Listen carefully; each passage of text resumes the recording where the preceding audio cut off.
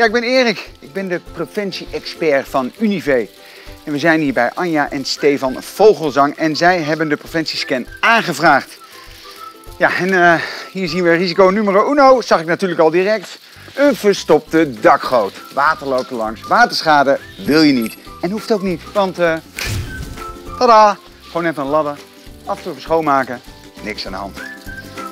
Nou, het is lang hè? Oh, trouwens. Mooi hè? Buitenlamp met bewegingssensor.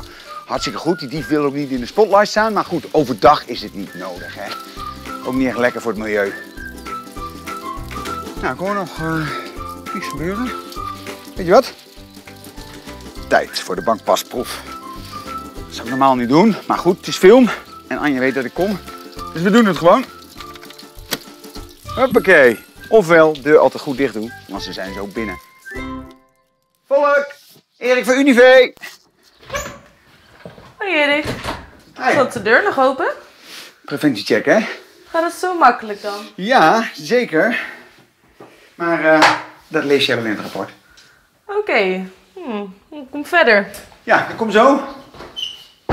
Eerst nog even de hal scannen natuurlijk. En ik zie al gelijk geen rookmelder. En in de gang hoort een rookmelder. Ja, dit zal wel uh, de meterkast zijn.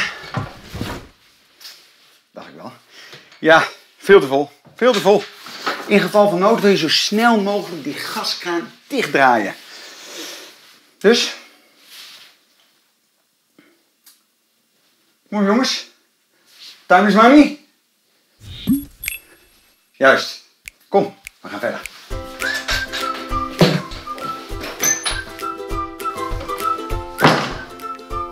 Zo, lekkage. Ja, de kinderen zijn vanochtend in bad geweest, maar ik moet inderdaad even naar laten kijken. Ik moet echt weer aan de slag nu, maar jij reed je wel, hè? Koffie staat klaar. Als je me nodig hebt, ik ben in de studeerkamer. Helemaal goed. Oh, en uh, pas op, de pannen die zijn heet. Ik meld me zodra ik klaar ben. Ik durf te wedden dat die lekkage, dat daar komt een oude kidnader. Oh, en keukenbranden. Ja, dat komt meestal gewoon omdat mensen vergeten het fornuis uit te zetten. Een ongeluk zit nou eenmaal in een klein hoekje. En daarom is een blusdeken een must in elke keuken. En deze jongen is ook weer handig om te hebben. Enfin, we gaan naar de woonkamer. Ja, precies. Een koolmonoxide melder. Heel goed, mooi dat hij daar hangt. Hij hangt niet helemaal op de goede plek. Dus laat je vooral goed voorlichten waar hij precies moet hangen. Maar goed, goede poging. Ik ben er echt blij om.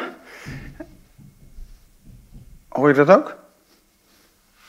Oh, nou, ook zoiets. Die container, een dief die klauwt het daar natuurlijk zo op, hè. Weg ermee. En deze, dat zag ik al even. Sleutel in de deur. Dat is niet slim, hè? Ze snijden hier zo'n stuk glas uit, hand erdoor en huppakee, ze zijn binnen. Dus sleutel er altijd uit. Jawel, Anja, die zal blij met me zijn.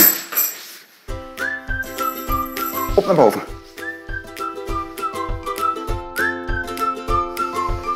Ja, ik was net in de badkamer en wat blijkt? Inderdaad, de oude kitnaden. Ja, die moeten gewoon worden vervangen. Die zorgen voor die lekkage. Dat had ik toch even mooi in de smiezen, hè? En uh, trouwens, bij wateroverlast is het wel handig dat je weet waar de hoofdkraan zit. Dat weten heel veel mensen, die weten dat dus niet. Maar goed, slaapkamer. Ja, nou, dit valt natuurlijk meteen op. Raam wagenwijd open. Iedereen kan zo naar binnen. Trouwens, zand, voetsporen. Zo'n beetje vreemd. Nou, dat zal ik Anja straks even melden. Uh, waar was ik? Ja, hang- en sluitwerk. Zorg daarvoor dat het goed zit. Je moet je huis gewoon afsluiten als je weggaat. Dit ook. Kijk, nieuwe draden, doorgeluste stekkerdozen. Dit zo samen met die ventilator. Hartstikke link. Kortsluiting, brand. Dat wil je dus niet, hè? Hier en dit, die stekker. Als je hem niet gebruikt, haal hem er gewoon uit, joh. Onnodig risico.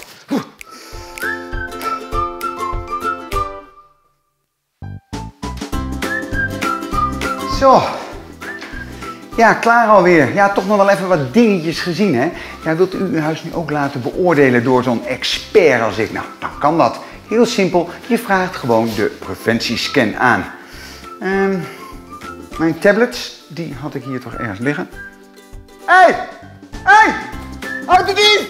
Hé! Hé!